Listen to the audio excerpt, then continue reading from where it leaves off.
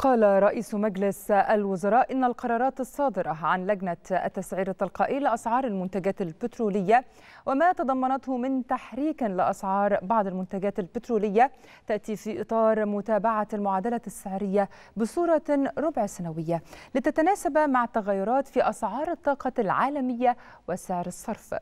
وأشار رئيس الوزراء إلى أنه وفقا للدراسات التي قامت بها اللجنة على مدار الفترات السابقة فقد تم تحريك أسعار منتج البنزين بأنواعه وتثبيت سعر منتج السولار وعدم تحريكه ذلك مراعاة للبعد الاجتماعي والظروف الاقتصادية التي فرضتها جائحة كورونا على كافة مناحي الحياة والأنشطة الاقتصادية المختلفة. لافتا إلى قيام الدولة المصرية بتحمل واستيعاب أي زيادات في تكلفة منتج السولار على أساس سنوي لمتوسط التكلفة خلال الفترة السابقة. موضحا أنه لم يتم تحريك سعر منتج السولار منذ أكثر من 30 شهرا مراعاة للأحوال المعيشية للمواطن المصري.